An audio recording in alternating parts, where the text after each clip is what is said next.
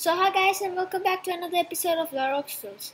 So today we are gonna be talking about Drift Legends which is an amazing game I swear it's pretty addictive but so I'm gonna be showing you about the gameplay and the game and it's gonna be fun so stay tuned.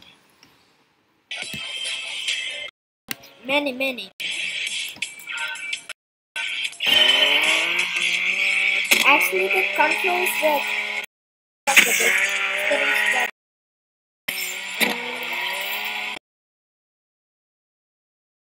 It, but in professional league, you use 500.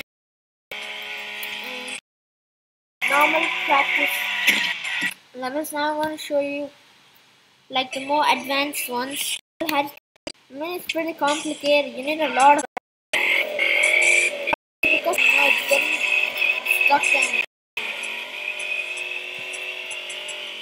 Uh, like you can also register an account so that you can have an online status in the game.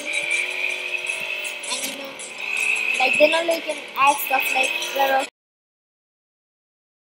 I mean, at the beginning I used to go and crash on game, but you'll get used to it.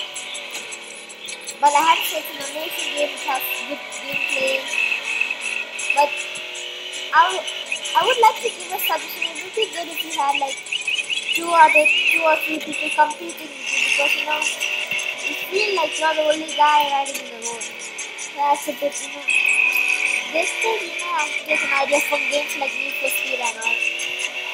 It's actually awesome, but it irritates me. No, just kidding, it's awesome. It, it actually gives you a lot of adrenaline because I'm like, oh my god, am I gonna lose right now? Oh my god, I'm just gonna lose. So, that actually was problematic.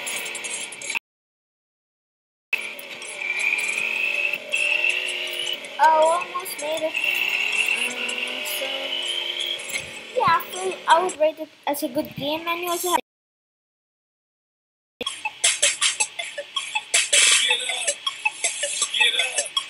So that's all for today. Subscribe.